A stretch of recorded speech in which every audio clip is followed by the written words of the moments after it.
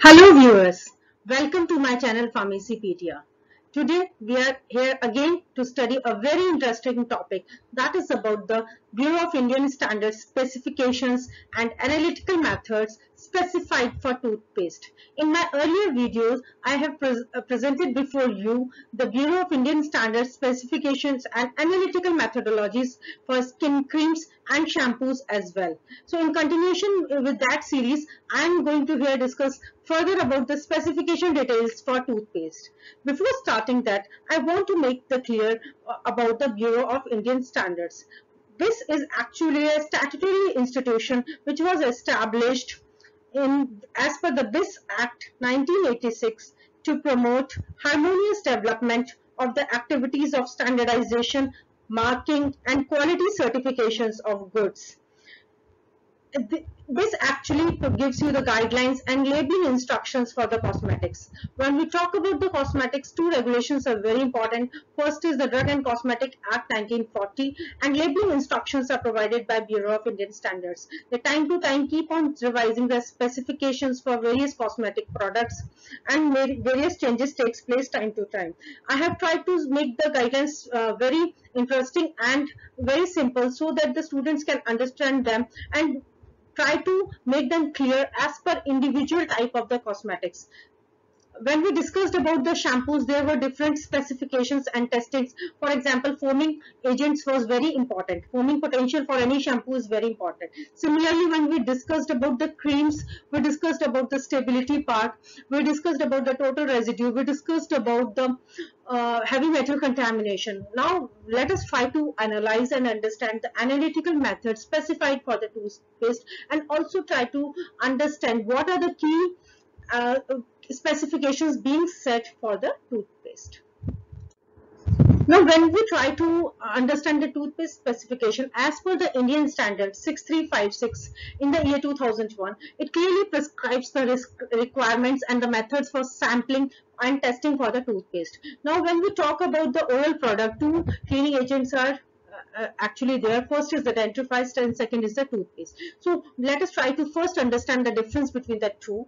A dentifrice is any substance or combination of substance specifically prepared for the public for cleaning the accessible surfaces of the teeth. So it actually refers to the dry powders. The, then came the concept of toothpaste. So toothpaste is defined as a dentifrice in the form of a smooth semi-solid. Semi, please try to make clear very uh, the concept of semi it is a semi solid preparation containing accessible ingredients such as abrasive agents surface active agents humectants binding agents and other appropriate substance for maintaining the oral health maintenance Toothpaste basically comprises of two categories. First is the type 1 and type 2. Type 2, type 1 is basically non-fluoridated.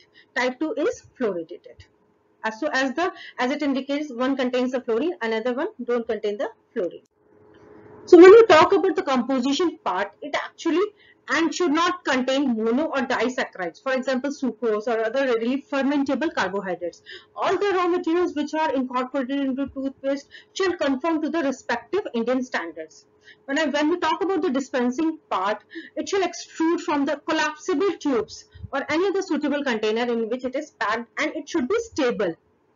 When we talk about this further stability, it should not show any sign of the deterioration during the normal condition of the storage. It is again very important that they remain stable for a period of at least 28 days. When we talk about the packaging material, most of the collapsible metal tubes are being used or any other suitable metal which is being used for the packaging of toothpaste shall not corrode, deteriorate or cause contamination of the toothpaste. It is very important since toothpaste remains there for a long period of the time, any sort of the, any sort of the contamination will be hazardous for the users.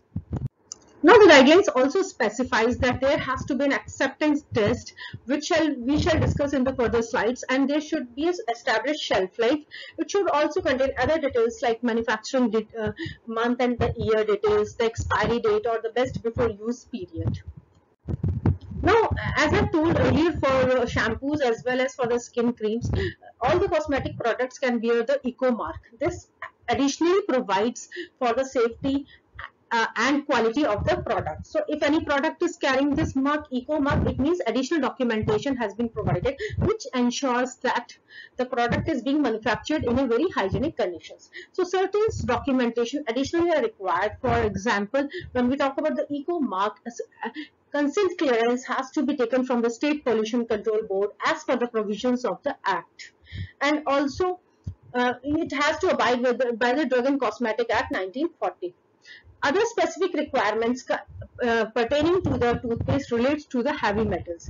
So heavy metals calculated as lead and arsenic shall not exceed for the lead it is 20 ppm and for the arsenic it is 2 ppm respectively when tested by the respective method described in the Indian standard.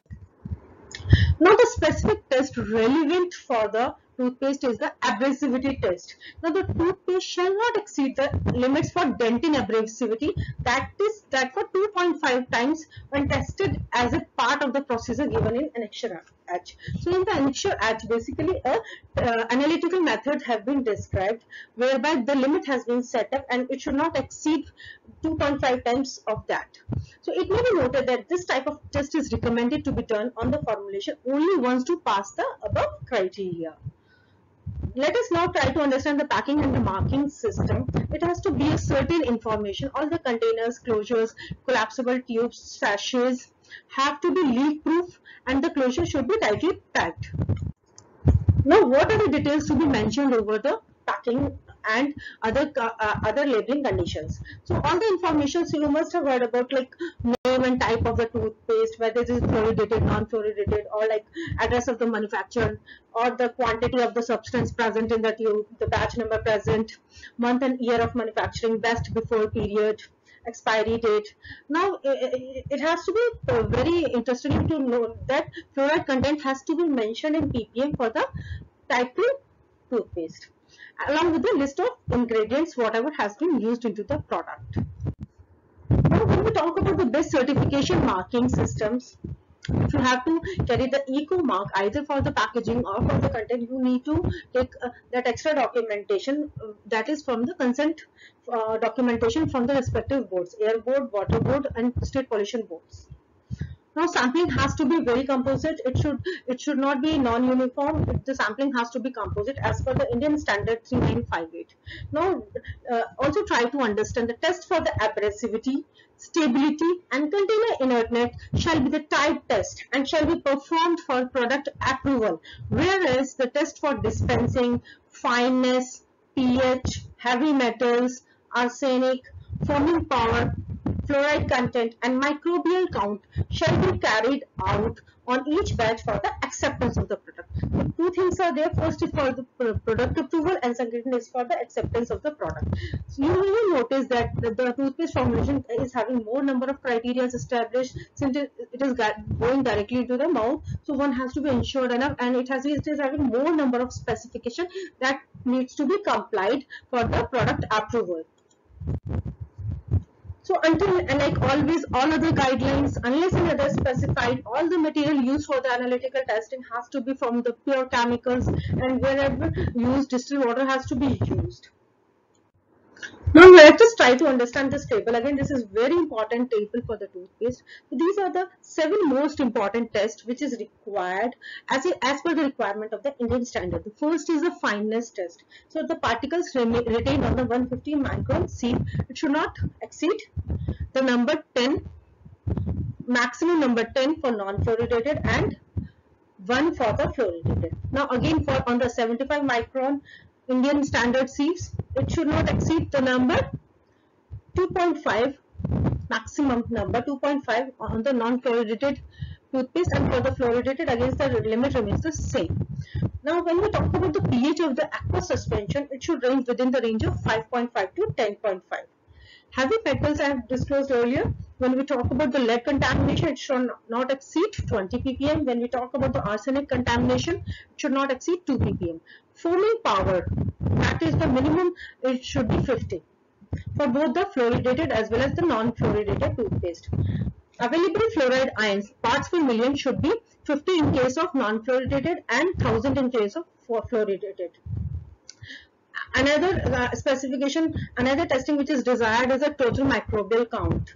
Now, it should be free from total viable counts per gram maximum limit is 1000 as per the Indian standard 14648 gram negative pathogens per gram maximum limit it should be it should not be present at all. So you can please make a point here clear very clear that the there should be complete absence of the gram negative pathogen per gram. You must have remembered in the case of skin cream certain 10 level was permitted. But when we talk about the toothpaste since it is not permitted at all. The reason being that skin creams works on the epidermis area. So uh, that's uh, that limit is uh, uh, fine there but when we talk about the oral product like toothpaste it is not acceptable at all now, uh, along with every Indian standard, there comes a list of annexures. So, let us try to understand the list of annexures enclosed with this Indian standard for the assessment of um, toothpaste. The first annexure A comprises of the list of ingredients which are conventionally used in the manufacture of the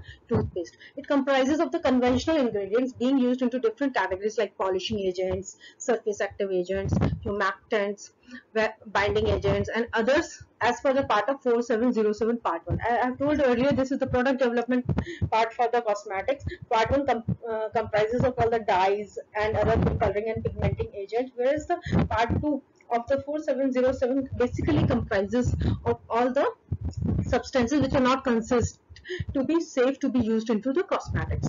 Now annexure B again determines the fineness, fineness of the product. Detailed analytical methodology is like it passes through the ultrasonic treatment and to test for the fineness test. Annexure C is for the determination of pH. Annexure D is for determination of heavy metal contamination that is a total heavy metal contamination uh, including the lead testing. Annexure E comprises for the testing of arsenic. Annexure F uh, comprises of the determination of foaming powders. So foaming powder uh, capacity has to be determined in case of the toothpaste. Annexure G comprises of the fluoride activity analysis in case of the fluoridated type 2 toothpaste. Annexure H comprises of the uh, very important abrasivity measurement test. This actually identifies the specific procedures for the determination of dentifrice abrasivity using the laboratory methods. Annexure J comprises of the list of the adjunct Indian standards which are associated with the toothpaste. So in a nutshell, in a brief, I'll try to summarize all the test methods which need, which are very important in the case of toothpaste and for the detailed analytical method you can refer the Indian standard guideline uh, mentioned on the Bureau of Indian Standard uh, website. Uh, in a nutshell, I have tried to comprise and emphasize on the important test specifically relevant for the toothpaste. This is again the, the same table which I uh, explained you earlier about the requirements of the toothpaste, carrying all the number of the characteristic test. Thank you so much for watching my video. I am I am hopeful that I am able to make you clear about the important test and analytical methodology which is desired as per the Bureau of Indian Standards, particularly and specifically for the toothpaste. Please do subscribe for my channel for continuous updates. Also, please like, share and also comment in the comment box. Thank you so much for watching my video.